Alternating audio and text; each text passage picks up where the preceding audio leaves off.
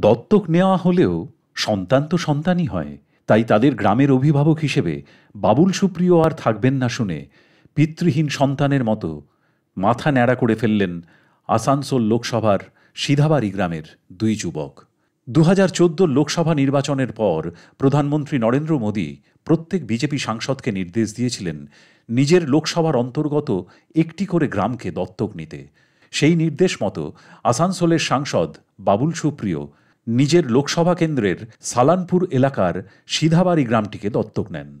গত সাত বছর ধরে বাবুল সুপ্রিয়কে তারা নিজেদের গ্রামের অভিভাবক মনে করে এসেছেন বলে জানিয়েছেন সিধাবাড়ির মানুষজন। কিন্তু বাবুল সুপ্রিয় ফেসবুক পোস্ট করে রাজনীতি ছাড়ার পাশাপাশি সাংসদ পদ থেকে ইস্তফা দেওয়ার কথা ঘোষণা করার পর এই গ্রামের বাবুল অনুরাগীরা বড্ড দুঃখ পেয়েছেন। সেই দুঃখ থেকেই অমল মণ্ডল এবং বিনোদ দাস নামে দুই যুবক নিজেদের মাথাই ন্যাড়া করে ফেলেন আমরা মাথা নেড়ে গেলাম এই যে বাবুরসুপুরে যে আমাদের সিদাবাড়ি গ্রামকে আদর্শ গ্রাম মানে গোদ নিয়েছিল, সেই কারণে মাথা নেড়ে কারণ এখন তো ধরুন ও কিছুদিন আগে শুনলাম মন্ত্রী থেকে ইস্তফা দিয়ে দিয়েছে। তারপর শোনা যাচ্ছে যে এমপি থেকেও ইস্তফা দেবে। তাহলে এখন আমরা যাব কাকে? সে আমরা তো সব অনাথা হয়ে গেলাম। ঠিক আছে? কাজের বিভাগে যেটা যেটা বলেছিল মাঝ রাস্তায় এসে আমাদেরকে ওই জন্যে মানে দুঃখতে মাথা নাড়ালাম এটার ন্যাড়া মাথা নিয়ে ওই দুই যুবক নিজেদের দুঃখের কথা জানালেও গোটা গ্রাম জুড়ে যে পরিস্থিতি একরকম তা নয়, বরং দুবারের সাংসদ বাবুল সুপ্রিয়র বিরুদ্ধে এলাকায় ক্ষোভও আছে যথেষ্ট। এই সদ্য প্রাক্তন কেন্দ্রীয় মন্ত্রী প্রতিশ্রুতি দিয়েও সিধাবাড়ি গ্রামে উন্নয়নের কোনো কাজ করেননি বলে অভিযোগ উঠেছে। এই গ্রামের অনেকের দাবি, বাবুল সুপ্রিয় স্কুল, কলেজ, রাস্তাঘাট পানীয় জলের সমস্যা সমাধান করার প্রতিশ্রুতি দিলেও দু চারটে সোলার লাইট লাগানো ছাড়া আর কিছু করেননি। তাও মাস ছয়েক পর সেই সোলার লাইটও খারাপ হয়ে যায়। তা আর সারানো হয়নি। জলের কল লাগানোর ব্যবস্থা করেছিলেন বাবুল সুপ্রিয়।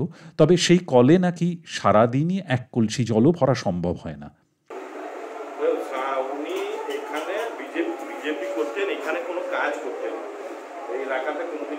করেননি। আজ পর্যন্ত আমরা আমাদের চোখে পড়েনি। আমরা সিধা বাড়ি। আজকে ওর জন্য আনাথ হয়ে গেছে। দেখবেন আনাথ হয়ে কিছু লোক আমি দেখলাম মিডিয়া থেকে, না নেড়া ফেরা হয়েছে। আনাথ হয়ে গেছে। আনাথের জন্য তো নেড়া হয় কি আমি আনাথ হয়ে গেছি। গ্রামটা আনাথ হয়ে গেছে। আর ও এখানে এলাকাতে কোনো কাজ করে দেয়নি, এই জন্য তো ইস্তিফা দিচ্ছে। ও কোনো কাজের নেই। ওর যে ইটা ছিল, গান করতো, গান করুক, সাংসদ হওয়ার জন্য ছিল না। সাংসদ হওয়ারও দরকার। ওই দুটা, চারটা লাইট লাগিয়েছে, যেটা ছ মাসের মধ্যে ওটাও খারাপ হয়ে গেছে। ওই সোলার লাইট ওটাও খারাপ হয়ে এরকম পড়ে আছে। কোনোদিন দেখতেও যায়নি। কি হাই মাস লাইট লাগিয়েছে, ওটাও খারাপ হয়ে গেছে। আজ পর্যন্ত ঠিক হয়নি, এক বছরের মধ্যে খারাপ। তো উন্নয়ন ওটা বলে না, খারাপ হয়েছে তো ওকে দেখতে হবে।